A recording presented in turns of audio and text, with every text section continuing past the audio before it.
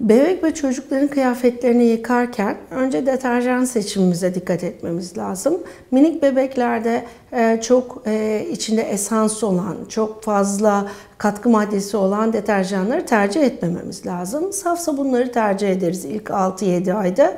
Daha sonra çocuklar için özel üretilmiş e, şampuanları veya deterjanları kullanmanızı tercih ederiz. E, ikincisi de e, çocuk ve bebeklerin kıyafetlerini kesinlikle kendi kıyafetlerinizle beraber yıkamanızı istemiyoruz.